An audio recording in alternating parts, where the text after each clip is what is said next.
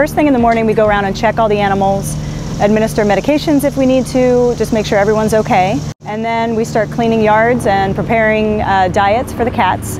And we prepare enrichment for the animals um, before they go out for the day. We'll go in and we'll set up the yards in the morning before we let them out. We'll put food out into the different parts of their habitat. We like to encourage the animals to search for the food and sort of stimulate their natural instincts, their natural behaviors of going out, sniffing out their food. The really great thing about sloth bears, especially for the cubs, is that even though they're in the same same enclosure every night, as long as you change their, their structures of the logs or you put a different enrichment item into the stall, it's almost like giving them a brand new habitat every night.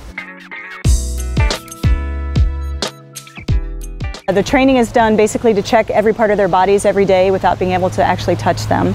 Um, we use training for medical reasons only. There are no special tricks or anything that we ask them for. Uh, if we do this, they open their mouths so we can check their teeth. Um, they're trained for voluntary injections. We're also working on training them for blood draws from their tail. So anything that we can do voluntarily with the animals without having to anesthetize them is something that we work for. The interactions on a daily basis that you have with your animals. And there is a relationship there. A lot of people will just see, oh, it's a lion or a tiger.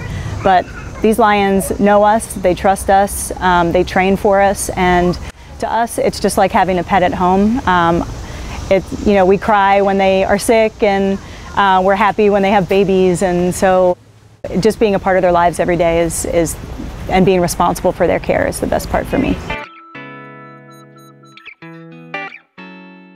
Particularly if they're interested in animal work, I would suggest just starting with dog walking or pet sitting in their neighborhood. That's a really good way to get into the industry at a very early age. Um, and then when you get older, you can become a keeper aide at the zoo and actually learn what it takes to be a zookeeper and, and sort of the care of exotic animals. Find animal webcams, facts, and photos on the National Zoo's Educators and Students page at nationalzoo.com kids.si.edu. And to learn more about working with animals, visit kids.gov.